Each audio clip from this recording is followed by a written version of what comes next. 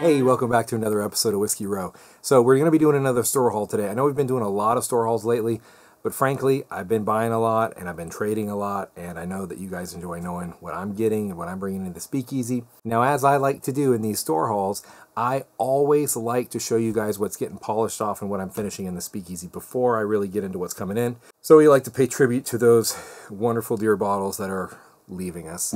And the first of those tonight that I finally was able to polish off this was really, really good until it got about two thirds into the bottle. Had about a third left, and it really kind of got really oaky. At first, it was kind of very sweet and caramel, delicious, and then it kind of went a little bit bitter wood kind of flavor, and it is now gone from the speakeasy. Next bottle that we have killed off in the speakeasy since our last time we filmed a store haul, Maker's Mark 46. Now, I've always liked Maker's Mark 46. I actually like it better than the regular uh, Maker's Mark. However, I've kind of fallen in love with Maker's 101 as, in my opinion, better and superior to a Maker's 46. So even though this one's gone, I don't have a replacement, and I don't know when I'll be getting another one just because I'm loaded up on Makers in like special store picks and flavor profiles from the Virginia ABC, as well as cask strength stuff, Makers 101. This is one of the most exciting store haul videos that I've ever done, or at least exciting to me. I don't know if you guys will love it, but I'm extremely excited for it. First of all, it's a day to celebrate in the speakeasy because I finally got rid of that Woodinville store pick from North Carolina that I got, the one that I've talked about multiple times that I just absolutely detest. I did have somebody from the great state of Washington who wanted to stand up for Woodinville and try it for themselves. So Jordan reached out to me and he wanted the Woodinville pick that I got, so I finally was able to get rid of that. So I traded that to him and he had something that I can't get here in Virginia and I've never seen Old Forester single barrel from Total Wine and More out of Washington. This is coming in at 127 proof. I've always wanted a single barrel barrel pick of Old Forester. I've never had one. Obviously, y'all know I love the 1910, the 1920. And to get a single barrel barrel pick, I'm very excited about. So again, 127 proof. This one's coming out of state of Washington. I haven't had it yet, so uh, it. As you'll notice, it's open. So we traded open bottle for open bottle because my Woodinville was open and I'd done it in some tastings. He traded me this, which he had opened, and he just didn't care for it very much. So it was a win-win for both of us. Jordan, thank you so much. But that's going to be my first pour for tonight. This smells like toasted graham crackers and maple syrup. A touch of chocolate, almost like a s'mores quality to it. Some roasted marshmallows. Obviously, you can smell it's got high proof. It's pretty good on the nose. for a first pour for the day, it's pretty strong at 127. That said, it's got some pretty good flavor in there. This has got a lot of spice to it. I'm picking up some nice wood barrel char kind of flavor. This does have some sweetness. It's kind of like a syrupy sweet sweetness, like a viscous sweetness, but it's not a uh, like a caramel or a vanilla sweet, like a dessert sweetness. It's it's a little bit different quality there. It's got a nice long herbal finish. And then as the finish gets toward the end, the sweetness, a little bit of that, that kind of viscous syrupy sweetness there, it starts to come out just a little bit at toward the end, but that herbal with a touch of cinnamon stays quite a while. This is a, a good bourbon.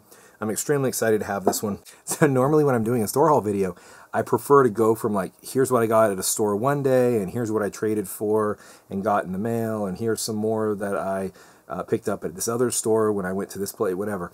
Instead of doing it kind of chronologically and telling the story, I'm going to really kind of just jump from bottle to bottle to bottle and kind of get what I would call more and more exciting, or at least the ones that I'm more and more excited about. So the Old Forester, I actually am incredibly excited about, and I definitely wouldn't say it was the one I'm least excited about. However, because it was open, I wanted to grab a sample right now and start, you know, get my drink going.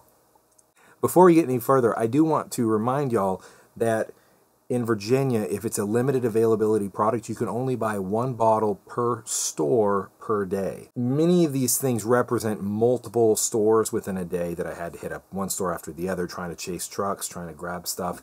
Some of the stuff that I trade for or that I'm able to get, I wouldn't be able to do that without the YouTube channel. And, and a lot of you are supporting it. And don't think I don't recognize uh, every day that I do this on, on Whiskey Row on YouTube don't think I don't realize how uh, blessed I am and grateful I am for you guys supporting me, helping me find this stuff, because if it weren't for that, a lot of the stuff I couldn't get. The first bottle that I snagged is just a 750 Eagle Rare. Uh, again, 90 proof, 10 year bourbon out of Buffalo Trace. Fantastic bottle. Uh, one of the things about Eagle Rare that's really cool, and part of the reason why I do kind of like to buy them periodically, they tend to have a little bit of a variance in flavor profile. They're not true single barrels, but I don't think they do a whole lot of blending or anything like that. I think they dump them out and if some splashes into the other one, they just call it good. I, I can't attest to that. You know, you Buffalo Trace employees, I can't I can't say that for sure. But uh, I think they just don't want to call it a single barrel, but it's pretty close to a single barrel for the most part, most of the time. So the next bottle is is it's another Eagle Rare, except this is a 1.75 handle of Eagle Rare, and these are are somewhat hard to get in Virginia. The, the regular Eagle Rares they sell off the shelf within usually the first day.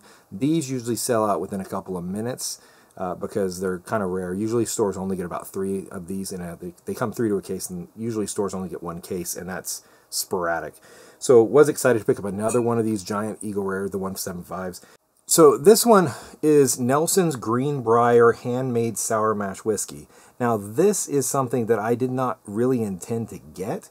I was in line to snag some special bottles you'll see here later and it was there and I saw it. I never had it and it said sour mash and i'm a sucker for sour mash because y'all know i love my sour mash whiskey. So paid retail for this here in virginia at the abc store after waiting in line to get some other stuff. Which i'll show you in a few minutes. Guy in line behind me you know he was like oh it's really really good. So uh, i'm a sucker and i bought one. Hopefully it's really good. I i don't know. This one's coming at 90 proof. It's labeled as a tennessee sour mash. So I will dive into it at some point and probably put it up against some other sour mashes and see how it fares but I was pretty excited to get another sour mash. Now this is my favorite Four Roses product, coming in at 104 proof. It's a little on the spendy side. The single barrel can be really, really good. Uh, most of them I have had are, but they, you know, the single barrel, you can get different, you know, off profiles. This one is very, very consistent. It's very, very good. I always like having these on hand, and I'm actually stocked a couple deep on this now. So, but I, I ended up picking it up anyway. So next up are these two wrapped bottles. I'd opened the box, but I hadn't actually opened the individual bottles to confirm I even got what I was supposed to get. And we'll open them right in front of you. So what? How did I get these? These were traded by uh, John. So let's open these up and see what I traded for.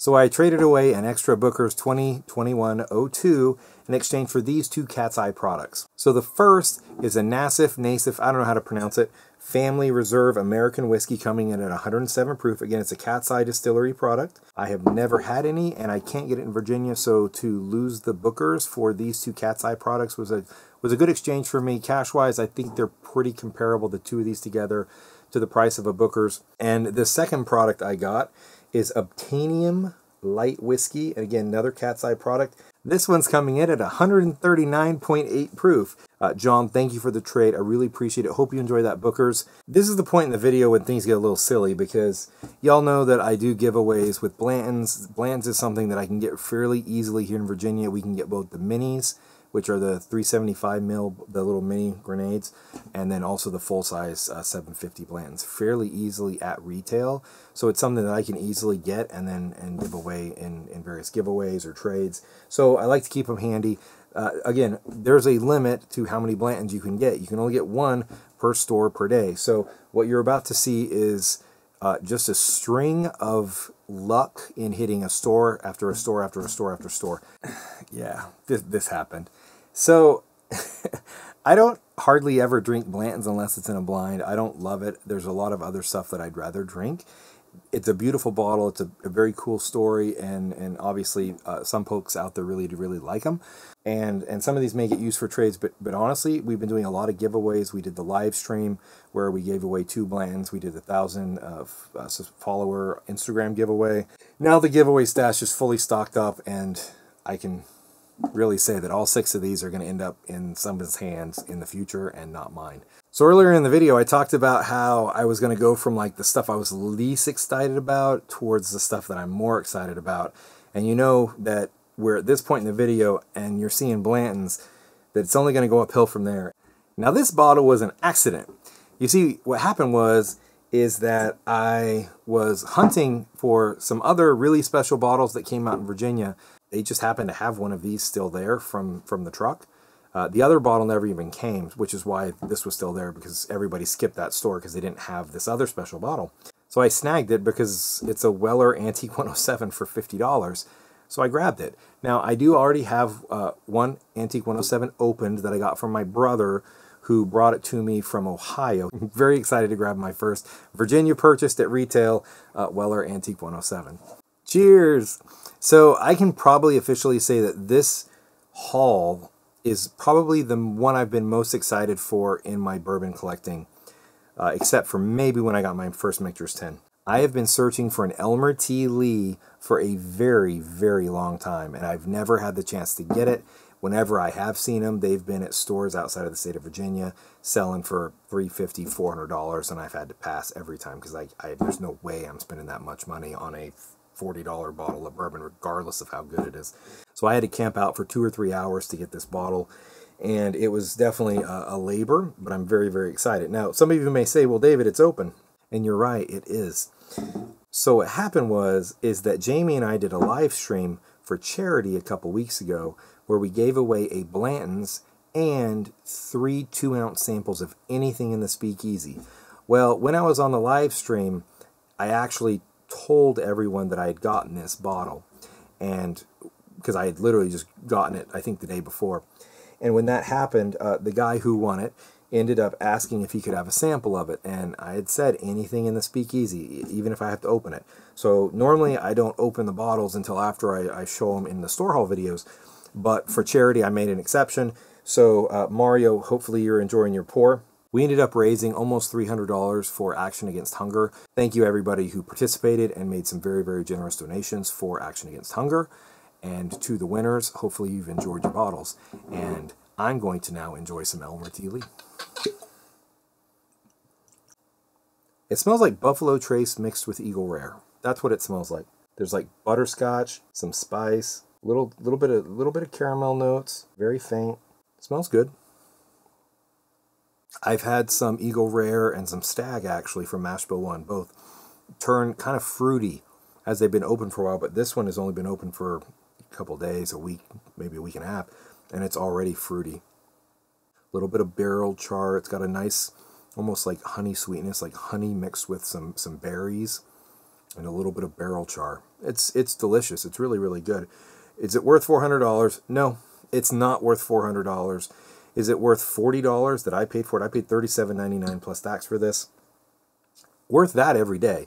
For the first bottle of Elmer T. Lee, I would have probably paid about 150 for. If somebody would have offered me a bottle of Elmer T. Lee for 150, I probably would have done it. But Elmer T. Lee's pretty good. Anyway, I was extremely excited. Now I actually own my own bottle of Elmer T. Lee.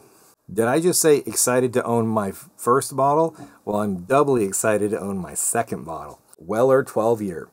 So this was actually procured for me from a, a, good supporter of the channel, Keith. I've talked about him before, lives up in New York. Uh, he gave me a, a, really good deal on this Weller 12, uh, much, much less than, than what's the secondary prices now. Uh, definitely more than MSRP, but it was an absolute uh, no-brainer for me to say yes. So Keith, thank you so much again for helping support the channel.